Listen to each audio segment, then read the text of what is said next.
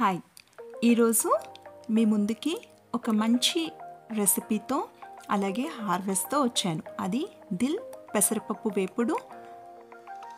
దీన్నే సోయకూర పెసరపప్పు వేపుడు అని కూడా అంటారు. అయితే దీనికి కావలసిన పదార్థాలు తరిగి పెట్టుకున్న దిల్ ఒక పిడికెడు నానబెట్టిన పెసరపప్పు అరస్పూను ఆవాలు అరస్పూను జీలకర్ర అరస్పూను మినపప్పు కొంచెం కరివేపాకు రెబ్బలు ఒక ఎండి మిరపకాయ అరస్పూను కూరకారం ఇంకా ఒక స్పూను తరిగిన వెల్లుల్లి. ఇప్పుడు ఈ దిల్ నేను ఇంట్లోనే గ్రో చేశాను. సీడ్స్ నుంచి గ్రో చేసిన దిల్. ఈ దిల్ ఈ స్టేజ్కి రావటానికి నాకు ఒక నెల పట్టింది. అయితే ఈ సీడ్స్ మామూలుగా పాట్లో వేసి బయట టెంపరేచర్లోనే అంటే లెస్ దాన్ ట్వంటీ డిగ్రీస్ టెంపరేచర్లోనే ఇక్కడ స్కాట్లాండ్లో నేను వేసి పెంచుతున్న పెంచాను. అయితే దీని ఈ వేసిన తర్వాత దీని గురించి ఏమీ కష్టపడకుండానే నార్మల్గా వాటర్ ఇచ్చుకుంటూ ఉంటే ఇది పెరిగిపోతుంది. చాలా ఈజీ గ్రో చేయటం. ఇంకా దీని ఫ్లేవర్ వరకు వస్తే చాలా స్ట్రాంగ్ ఫ్లేవర్ టేస్ట్ టేస్ట్ ఇంకా స్మెల్ రెండు కూడా చాలా స్ట్రాంగ్ ఘాటుగా ఉంటుంది స్మెల్ అలా అని దీనికి ఎంత హెల్త్ బెనిఫిట్స్ అంటే too nutritious and very healthy ఈ దిల్ని ఆల్ ఓవర్ ఇండియా వేరు వేరు పేర్లతో పిలుస్తారు. అలాగే చాలామంది దీన్ని కన్జ్యూమ్ చేస్తారు. ఎందుకంటే చాలా హెల్దీ కాబట్టి. తెలుగులో సోయకూర అని ఇంగ్లీష్లో దిల్ అని ఇంకా మరాఠీలో షేపు అని హిందీలో సోవాబాజీ అలాగే పంజాబీలో సువాబాజీ ఇలా వేరు వేరు లాంగ్వేజెస్లో సవాబాజీ అని డిఫరెంట్ పేర్లు పెట్టి పిలుస్తారు. ఇంకా ఇండియాలోనే కాదు ఇది వరల్డ్ వైడ్ యూజ్ చేసే ఒక మంచి న్యూట్రిషియస్ అండ్ ఫ్లేవర్ఫుల్ హర్బ్. ఎవరికైనా అంటే ఈ హర్బ్ని ఇక్కడ స్కాట్లాండ్లో గ్రో చేసుకోవాలి అంటే చాలా ఈజీగా గ్రో చేసుకోవచ్చు. కష్టపడిన అవసరం లేదు. దాని గురించి ఇన్ఫర్మేషన్. అయితే మనకి ఈ పక్కనే ఎండిపోయి ఒకటి కనపడుతుంది కదా అది రోజ్మెరీ. దాని ఆకులు బాగాలేదని మొత్తం ఆకులన్నీ తుంపి పెట్టేశాను. మళ్ళీ చిగురు వస్తుందని అయితే మొత్తానికి మనకి ఇంత సోయకూర వచ్చింది. దీన్ని బాగా కడిగి తరిగి పెట్టుకున్న సోయకూర ఇప్పుడు కూరలోకి వచ్చేద్దాం. పొయ్యి మీద ప్లా ప్యాన్ పెట్టుకుని ప్యాన్ కాగాక కొంచెం ఆయిల్. అంతే. ఇది సోయకూర పెసరపప్పు వేపుడు. వేపుడు అన్నామని మనం ఎక్కువ ఆయిల్ వేయనవసరం లేదు. తక్కువ ఇంగ్రీడియంట్స్తో హెల్దీగా టేస్టీగా చేసుకునే ఒక మంచి రెసిపీ మాట. అయితే ఫస్ట్ ముందుగా ఆవాలు అర స్పూన్ ఆవాలు అర స్పూన్ జీలకర్ర అర స్పూను మినపప్పు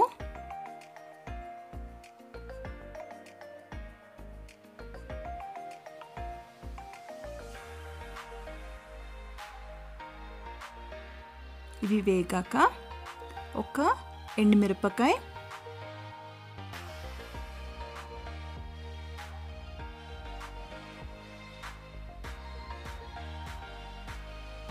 కొన్ని కరివేపాకు రెబ్బలు.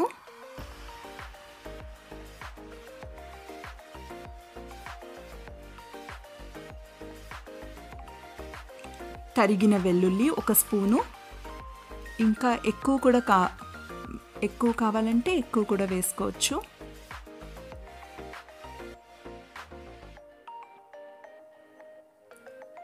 వెల్లుల్లి వేగాక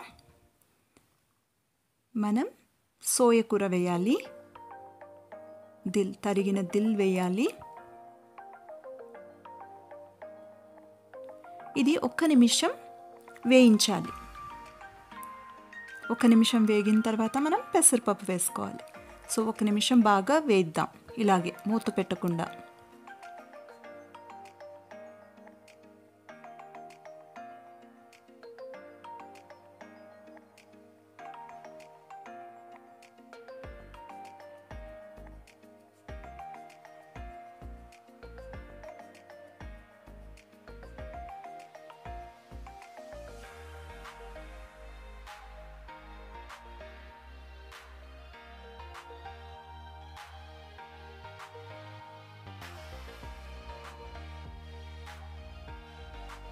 కి ఒక నిమిషం మనం వేయించుకున్నాము.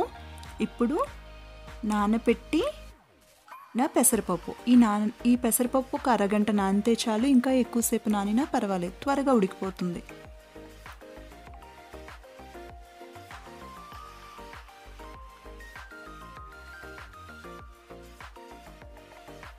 బాగా కలుపుకుని మనం ఇప్పుడు మూత పెట్టుకుని ఒక ఐదు నిమిషాలు మగ్గిద్దాం.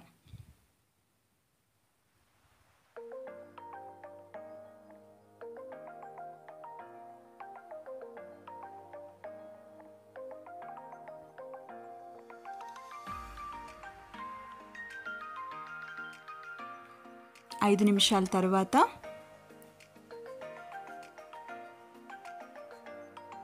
తీసి ఒకసారి కలుపుకొని మనం ఇందులో కావలసిన ఉప్పు కారం వేసుకోవాలి. కారం ఉప్పు మీకు తగినట్టుగా వేసుకోండి. నాకైతే అర స్పూను ఉప్పు అర స్పూను కూర కారం పడుతుంది.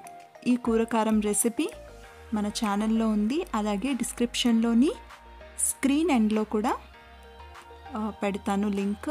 ఒకసారి చూడండి. సో ఉప్పు కారం వేసాక బాగా కలుపుకుని మూత పెట్టుకుందాం.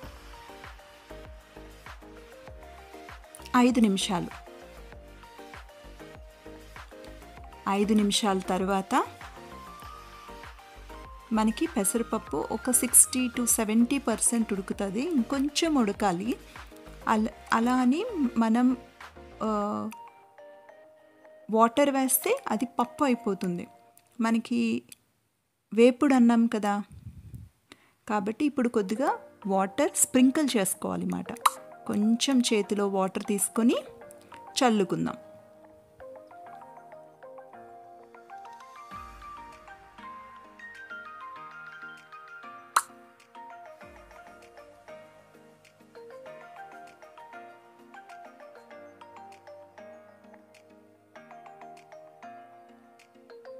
అంతే.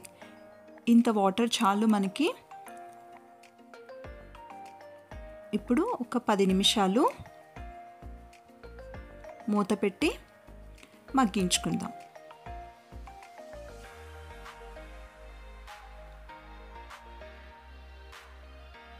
ఇలా చేస్తే మనకి పెసరపప్పు పెసరపప్పుగానే ఉంటుంది. అది ఫ్రైగా చక్కగా వస్తుంది. అలా ఎక్కువ వాటర్ వేసేస్తే అది పప్పు అయిపోతుంది దాల్ అయిపోతుంది.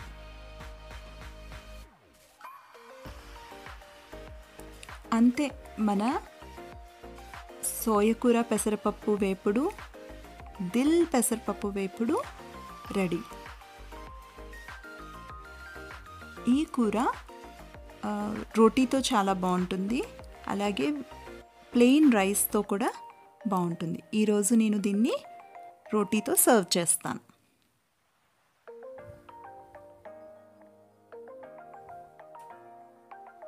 ఈ వీడియో కానీ మీకు నచ్చినట్టయితే లైక్ చేయండి షేర్ చేయండి ఇంకా సబ్స్క్రైబ్ చేయండి.